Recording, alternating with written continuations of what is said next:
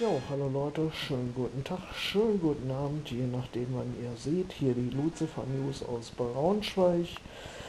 Ja, Wochenende war hier in Braunschweig recht lahm und ich habe also fast befürchtet, dass es hier nichts Nennenswertes zu berichten gibt. Ähm, ich wollte ja noch ein paar Filme machen, aber aufgrund eines Abzesses, den ich wieder habe, bin ich so ein bisschen behindert. Das heißt, ich kann nicht so gut laufen und naja, Fahrrad fahren. Äh, hatte dann Stand in der Innenstadt ein paar Stunden besucht, bin dann nach Hause, habe mich dann hingelegt. Naja, wie auch immer. Wie gesagt, ich dachte schon, na, das wird ein ruhiges Wochenende. Bis auf, dass mich jemand gefragt hat, ob ich einen Konzertmitschnitt machen sollte, wollte oder könnte, wenn ich Langeweile habe, im Nexus in Braunschweig. Gut, jetzt hatte ich auch am Freitag zugesagt noch und habe geschrieben, 19 Uhr beim Nexus.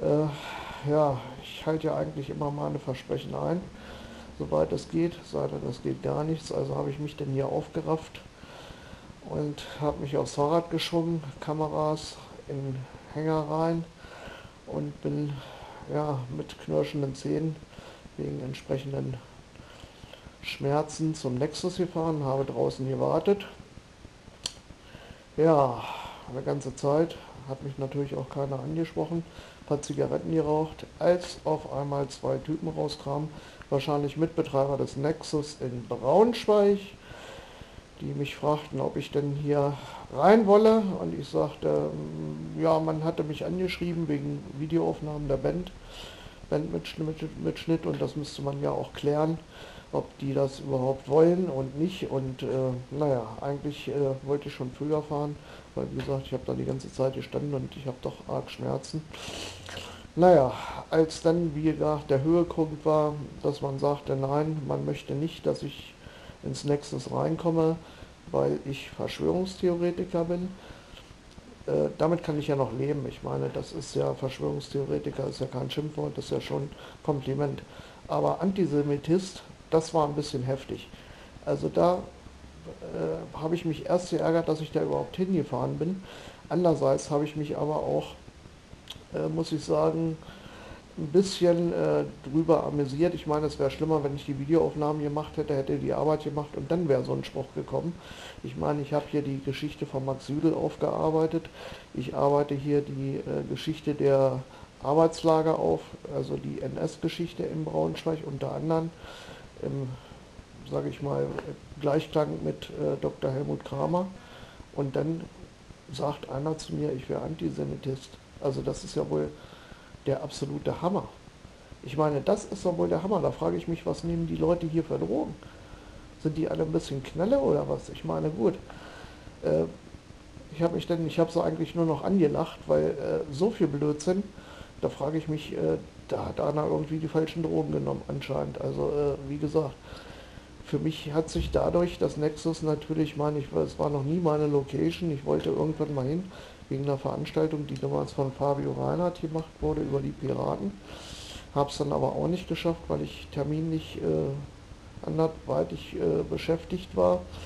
Äh, ich meine, ich hätte mit Sicherheit mal einen Bericht über das Nexus gemacht, aber äh, wenn solche geistige Haltung, jemand als Antisemitist zu be, äh, äh, betiteln, der hier die NS-Geschichte aufarbeitet und die Rechtsgeschichte aufarbeitet, dann frage ich mich, äh, was, was sind das für Betreiber da?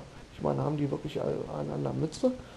Was anderes kann, mich da, kann man dazu gar nicht mehr sagen. Also das ist also für mich auf jeden Fall demnächst das Nexus ein, ein rotes Tuch in dem Sinne wenn man das mal so nennen kann. Ich meine, Rot und Braun, das nimmt sich ja sowieso nicht viel. Ich meine, wenn es extrem wird, sage ich mal. Aber äh, so einen Schwachsinn zu verzapfen, ich meine, wie gesagt, Verschwörungstheoretiker, da kann ich immer noch mit leben. Ich meine, besser als wie ein Verschwörungstheorie-Fanatiker.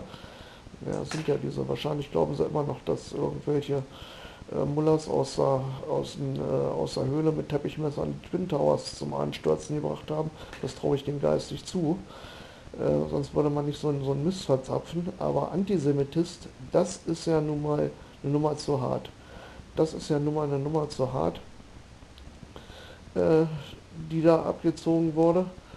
Äh, das geht ja gar nicht. Ich meine, das geht ja gar nicht. Da frage ich mich wirklich, äh, was die Betreiber vom Nexus im Hirn haben. Also recht wenig anscheinend. Ja. Ja gut, zu viel Alkohol, zu viel Drogen oder was weiß ich. Also für mich, wie gesagt, kein, keine Location, die ich auch noch empfehlen würde, das Nexus auf Dauer.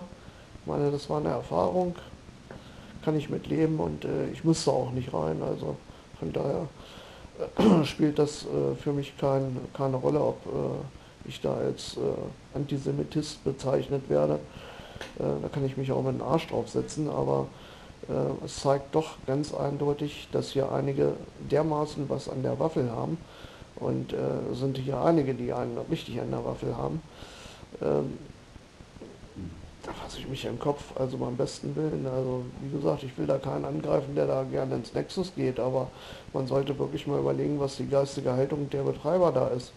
Also ganz richtig können die da nicht äh, ticken. Also äh, anders kann ich das nicht sagen. Also wie gesagt, mein Bericht, es wäre jetzt richtig langweilig geworden am Wochenende, aber das hat mich ja wieder richtig aufgebaut, dass ich ja Antisemitist bin, äh, dank des Nexus, Aussage des Nexus.